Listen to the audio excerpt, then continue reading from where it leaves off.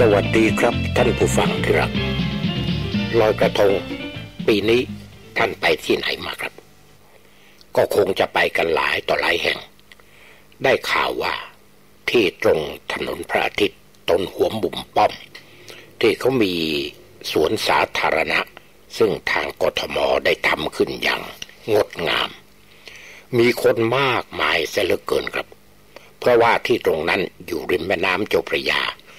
ตรงปากคลองบางลำพู ก็จะมองเห็น ทิวทัศน์ในแม่น้ำเจ้าพระยาที่สวยงาม แถมยังมีสะพานพระรามแปดซึ่งเป็นฉากหลังเป็นสะพานขึง ที่สวยงามมาก ได้ข่าวว่ามีคนไปล้น เรียกว่าล้นฟ้ามืดฟ้ามือมัวดินเลยทีเดียวสำหรับผมนั้น ไม่ไปไหนทั้งสิ้น ในที่ซึ่งคนเข้าไปมาก ๆ ผมหลบไปชัยนาทครับ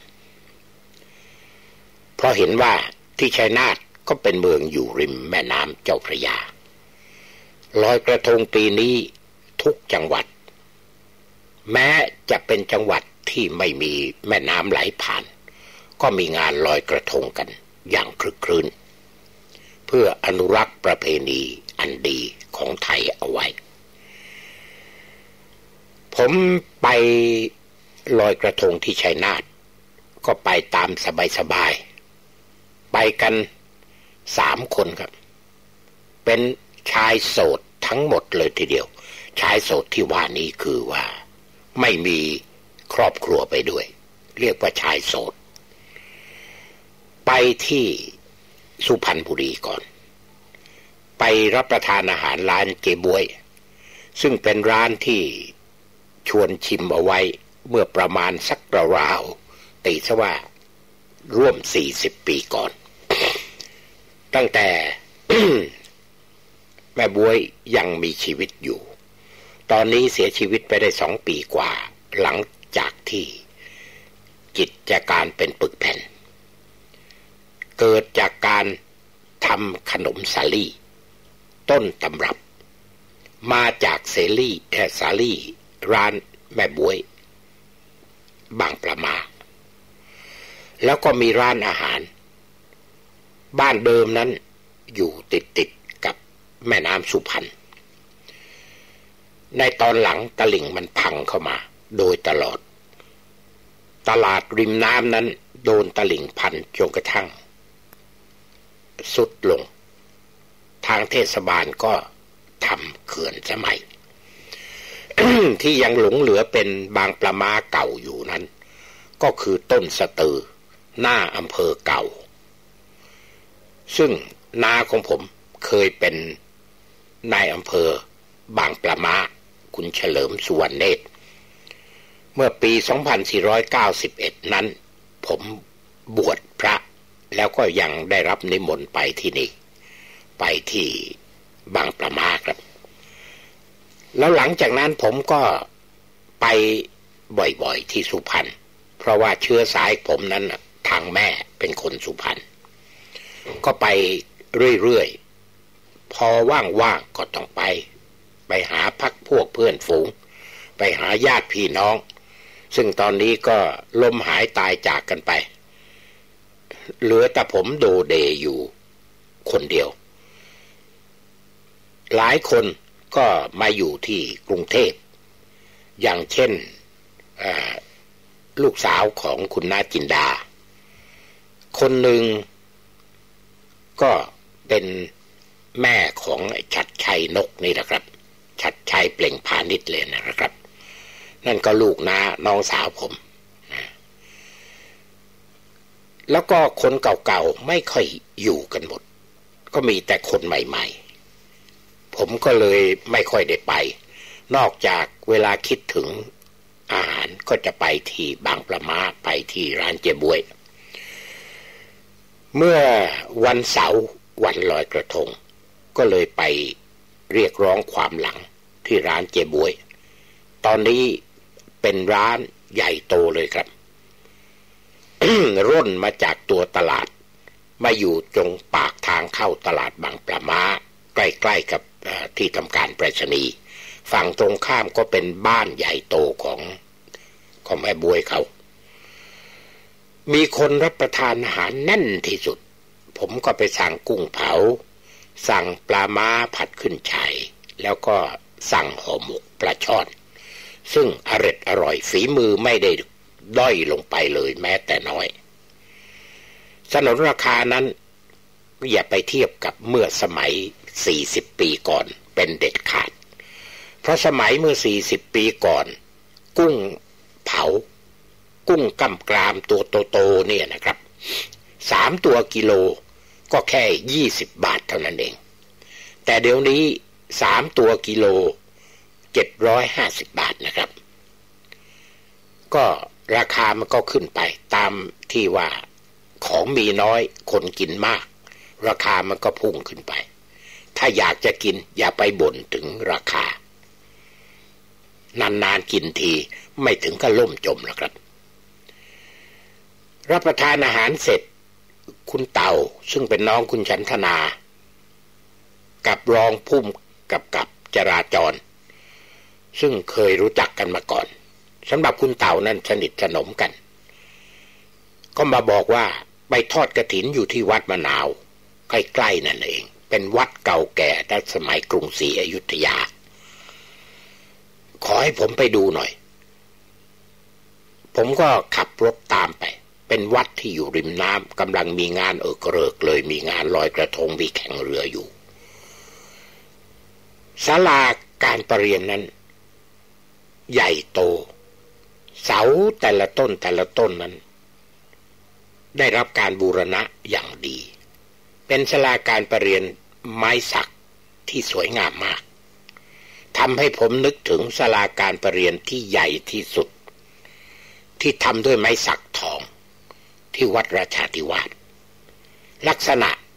คล้ายกันเลยครับ แต่ย่อส่วนลงมา ส่วนตัวกตินั้น คุณเต่า ได้พยายามบูรณะกัน จนกระทั่งเป็นกติพระยุคเมื่อร้อยปีก่อน แต่ได้รับการบูรณะจนกระทั่งสวยงามเหมือนอย่างในปัจจุบัน ผมไม่มีเวลาดูมาก ขึ้นไปกราบท่านพระครูเจ้าอาวาสแล้วท่านก็ได้ มอบพระเป็นพระหลวงพ่อบุย ให้มาสามสามองค์ด้วยกัน เป็นพระกำแพงสอกกันจากนั้นก็กราบลามาเดินทางไปชัยนาทไปถึงชัยนาทตอนบ่าย เขากำลังมีการแห่กระทง พวกเด็กๆเล็กๆ พวกนักเรียน พวกชั้นมัธยม ชาวบ้านก็มีงานลอยกระทงกันที่หน้า แม่น้ำ หน้าสารกลาง ผมไม่ไปลอยกระทงกับงานที่หน้าสารกลางเขาหรอกครับ แต่ผมไปรับประทานอาหารอยู่ที่ทางฝั่งเขื่อนเจ้าพระยา ตรงถนนที่จะออกไปยังสันบุรี มีร้านอาหารอยู่ที่ริมคูส่งน้ำ สายใหญ่ ชื่อร้านนัดถนน บรรยากาศดีมากมีสระน้ำสำหรับให้เด็กเล่นด้วยนะครับ แล้วก็มีศาลา ตั้งโต๊ะอยู่ในศาลาและที่สวน ก็มีโต๊ะเรียงราย มีผู้จับจองเต็มเลยทีเดียว เรารับประทานอาหารที่นั่น พักใหญ่ แล้วก็ เดินทางไปอำเภอหันคา ซึ่งมีบ้านของคนรู้จักกัน เป็นขหาบดีอยู่ที่นั่น จะเรียกว่าขหาบดีไม่ได้ต้องเรียกขหาปตานี คือเป็นผู้หญิงครับ มีปั๊มมีกิจการหลายอย่าง บ้านอยู่ริมน้ำที่อำเภอหันคาอำเภอหันคาเนี่ยมีแม่น้ำ ที่เรียกว่าแม่น้ำสุพรรณมาจากปากคลองมะขามเท่าไหลมา จากประตูน้ำท่าโบสถ์เพื่อจะไปออกยังสุพรรณบุรี ทางแม่น้ำสุพรรณเขาลอยกระทงกันที่นั่นแหละครับ บ้านนั้นอยู่ริมน้ำแขวนโคม ซึ่งทำจากถ้วยแก้วเนี่ย แขวนไว้ตามต้นไม้ สวยงามมาก บรรยากาศดี ท้องฟ้านั้น พระจันทร์เต็มดวง เราก็ไปลอยกระทงโดยที่ทางคุณหน่อยเจ้าของบ้าน เขาเตรียมกระทงไว้ให้ การลอยกระทงในวันนั้น ก็อยู่ในหมู่พักพวกเพื่อนฝูงที่สนิทสนิทกัน เพียงแค่ราวๆสักสิบคน มันก็ ไม่เรียกว่าเงา แต่มันได้บรรยากาศ เพราะมันสงบไม่มีเสียงอึกกระทึกครึกโครมอะไรครับ พระจันทร์ลอยเด่นอยู่กลางฟ้า กระทงที่ปล่อยมาจากวัดโบสถ์ก็ค่อยๆไหลมา ไม่เต็มทั้งท้องน้ำแต่ก็ไหลมาเรื่อยๆทำให้ผมคิดถึงการลอยกระทงที่หน้า แม่น้ำปิงจังหวัดตากป่านนี้คงจะมีการแข่งขันปล่อยกระทงสายประทีปไหลพันดวงกัน อย่างเอิกกระเริกแน่นอน ผมลอยกระทงอยู่ที่นั่น จนกระทั่งดึกก็เดินทางกลับมา นอนที่ชัยนาทนอนหลับสบายเลยครับ รุ่งเช้าถึงได้เดินทางกลับกรุงเทพ เป็นการลอยกระทงที่สงบเงียบได้บรรยากาศดี ไปคราวนี้ก็ได้ไปกราบพระที่วัดมะนาวที่สุพรรณไม่มีเวลาที่จะไปไหว้หลวงปู่สุข และถวายบังคม เสด็จในกรมหลวงชุมพรตามที่เคยปฏิบัติอยู่ ได้แต่อธิษฐานใจแล้วก็ยกมือไหว้ไปตามทิศทาง ทั้งหลวงพ่อท่านมามูลด้วย ก็ทำให้การไปลอยกระทงปีนี้ถึงแม้ว่าจะเงียบ แต่ก็เฮฮากันอยู่ในกลุ่มของเรา ซึ่งมีอาจารย์จากโรงเรียนชัยนาทพิทยาคม คุณภัยรัตคุณแดง ได้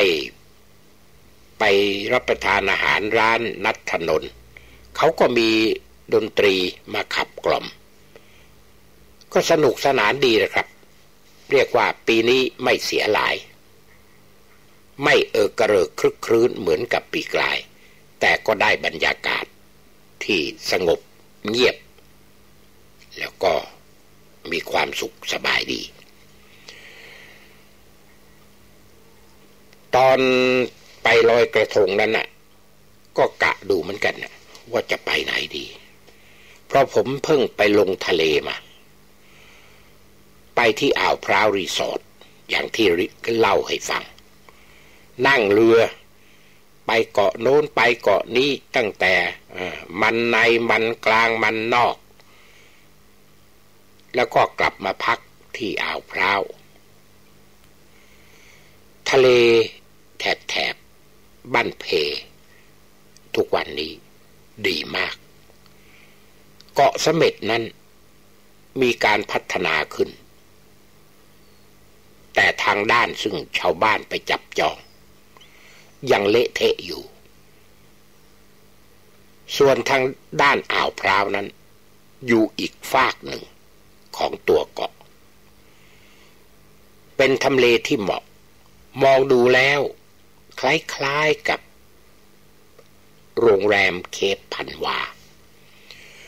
คือมีภูเขาอยู่ด้านหลัง เป็นเขาเตี้ยๆ บ้านพักนั้นสร้างติดกับเชิงเขา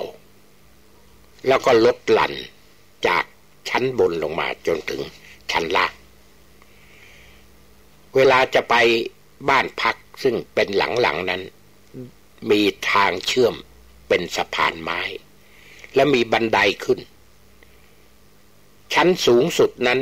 ก็จะไปถึงต้องขึ้นบันไดประมาณสามสิบกว่าขั้น เกือบสี่สิบขั้น เป็นการออกกำลังอย่างดีครับ ที่ตรงนั้นอ่าวพร้าวรีสอร์ทเนี่ยเป็นสถานที่พักแรม เป็นรีสอร์ทชนิดห้าดาว มีสระน้ำมีสปา ครบวงจร ส่วนใหญ่ผู้ที่มาพักนั้นเป็นชาวต่างประเทศที่มีฐานะ เพราะว่าสนนราคาของอ่าวพร้าวรีสอร์ทถ้าอยู่ตรงห้าดาวที่เรียกว่าเลอวิมาน คืนหนึ่งก็เป็นหมื่น ต่อคืนนะครับ ถ้าเป็นอ่าวพร้าวอีกด้านหนึ่ง ควรจะเรียกว่าอ่าวพร้าววิลล่า ตรงนั้นก็ประมาณคืนละ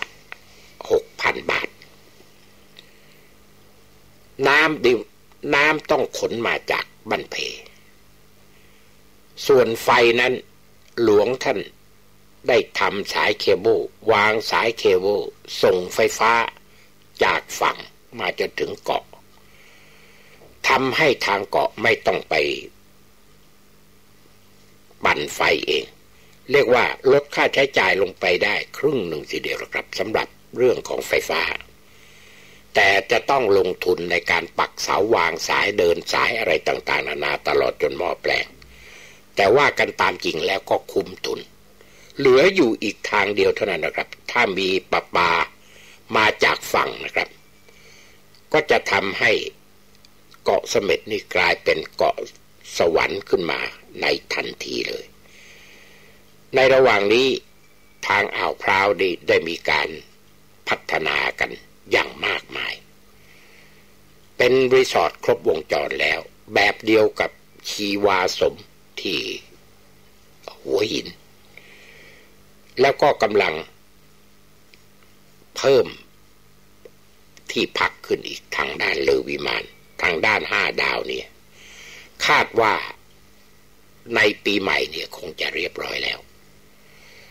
สภาพอากาศในตอนนี้ดีมากครับ ถึงแม้มรสุมจะเข้ามาอ่าวไทยแต่ก็ไม่กระทบกระเทือน ทางด้านนี้เลย ทางด้านเกาะเสม็ดหรือเกาะแก้วพิสดารน่าไปเที่ยวทะเลเรียบราวกับกระจกนะครับ นี่ก็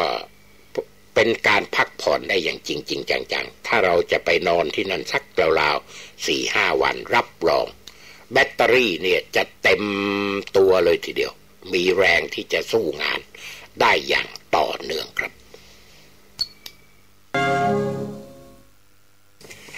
ท่านผู้ฟังที่รักครับ ผมได้รับจดหมายจาก คุณวีรยุทธ์ดิษยสริน จากชมรมอนุรักษ์และพัฒนาอากาศยานไทย ที่กองบิน 41 นะขอเชิญไปร่วมงานเลี้ยงต้อนรับกลุ่มนักบินอาสาสมัครอเมริกัน คือ เรารู้จักกันดี ในนามของ Flying Tigers หรือกองพลเสือบิน ทาง Flying Tigers เนี่ยนะครับ เขาได้มีตั้งชมรมขึ้นมา เป็นชมรมที่เรียกว่า American Volunteer Group เมื่อตอนสงครามโลกครั้งที่สองนั้น มีนักบินอาสาสมัครชาวอเมริกัน ได้เข้าไปร่วมสู้รบกับญี่ปุ่นในตอนนั้น เป็นกองกองบินที่มีชื่อเสียงมากโดยมีในพลเชนโน เป็นหัวหน้า ได้สร้างวีรกรรมไว้มาก และก็ได้มีผู้เสียชีวิต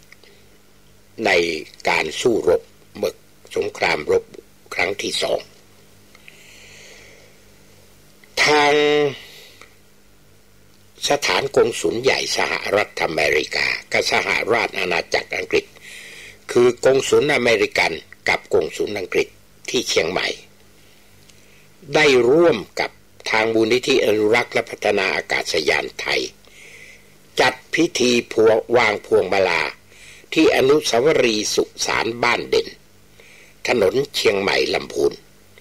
เพื่อรำลึกถึงนักบินอาสาสมัครชาวอเมริกันที่เสียชีวิตใน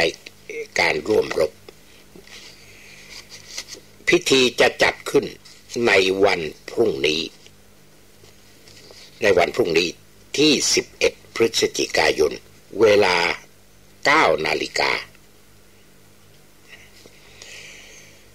ทางชมรมอนุรักษ์นั้นนะครับ ก็จะจัดงานเลี้ยงต้อนรับคณะอาสาสมัคร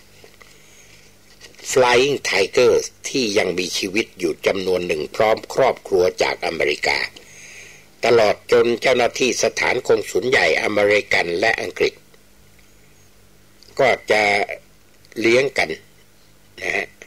อยู่ที่เชียงใหม่นั่นแหละครับ ทางคุณวิรยุทธ์ก็เชิญผมมาไปร่วมงานด้วย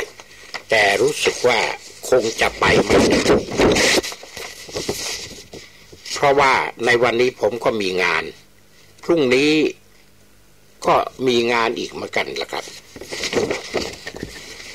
ทาง Flying Tigers นี่ ผมได้มีโอกาสที่จะได้รู้จักมักคุ้นกันก็มีคนหนึ่งซึ่งถือกันว่าเป็นเพื่อนรักกัน เขาอยู่ที่ไต้หวันครับ คือฮาวิทอย ฮาวิทอยนี้เป็น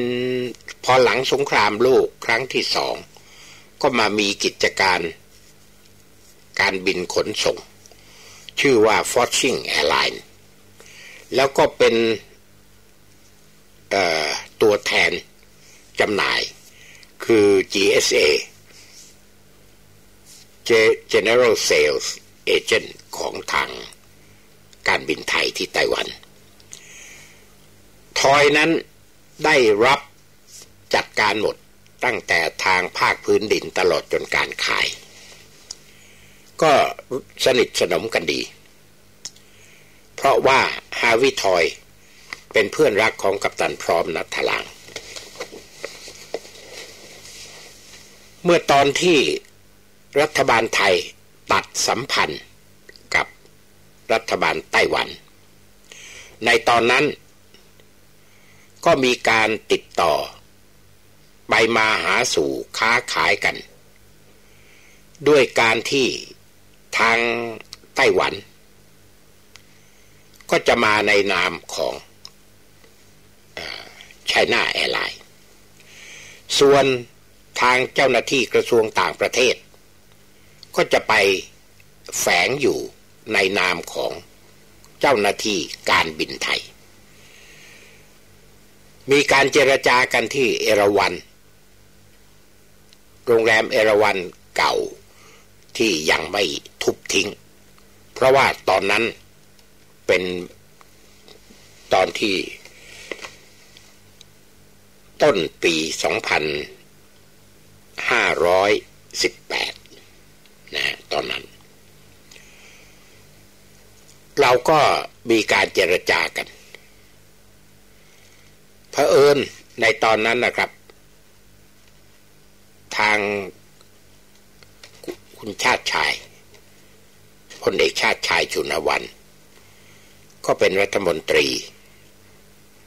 ว่าการกระทรวงการต่างประเทศ ทางการบินไทย มีกัปตันพร้อมนัทลาง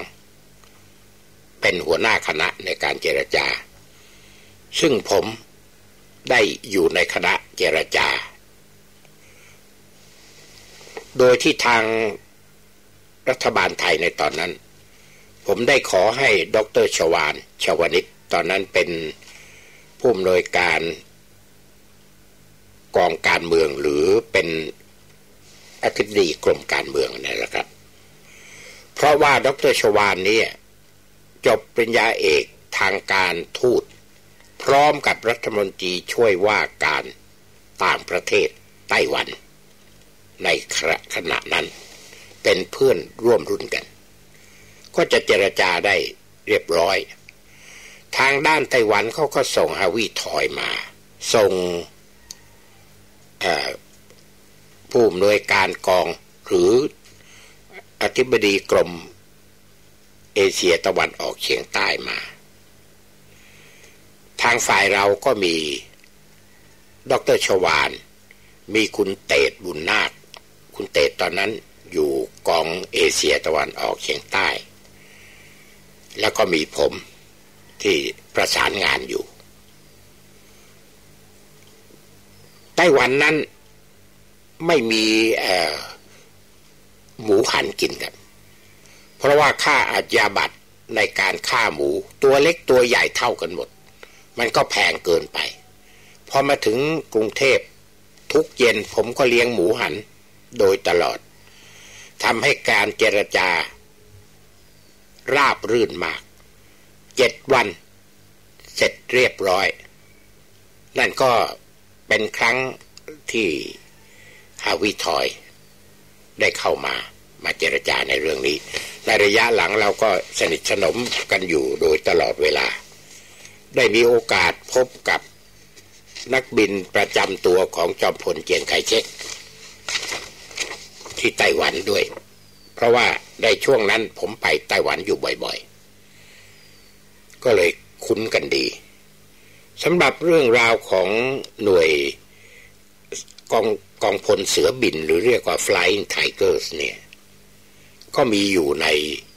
หนังสือที่เป็นว่าเซรีไทยสายอังกฤษ ท่านลองไปเปิด อ่านดูก็แล้วกัน ถ้าท่านมีหนังสือนั้น เป็นกรรมสิทธิ์อยู่ ก็จะได้ทราบดีว่ากองพลเสือบินเนี่ยมีความเป็นมาอย่างไร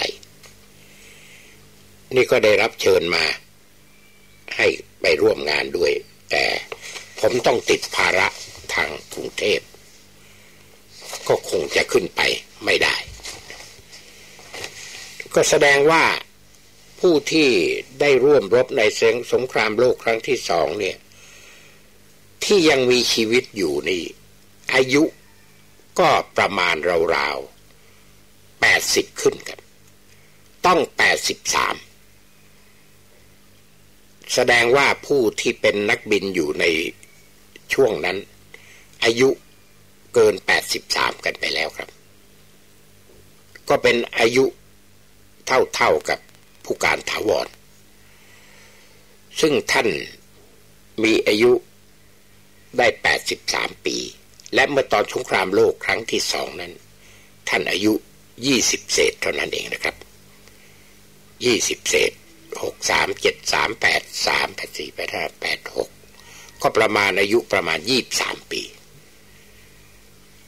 คนที่ได้มีภาระที่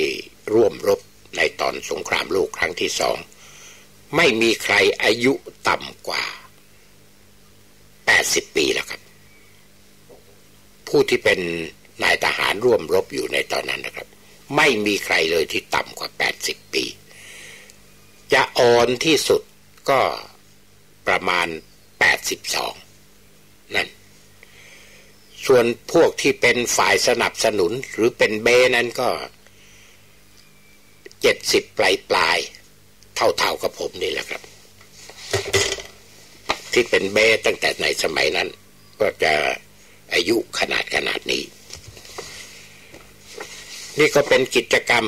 อันหนึ่งซึ่งในวันพรุ่งนี้ที่เชียงใหม่ จะมีการ วางสิฟางพวงมาลาสำหรับ Flying Tigers ผมได้รับจดหมายจาก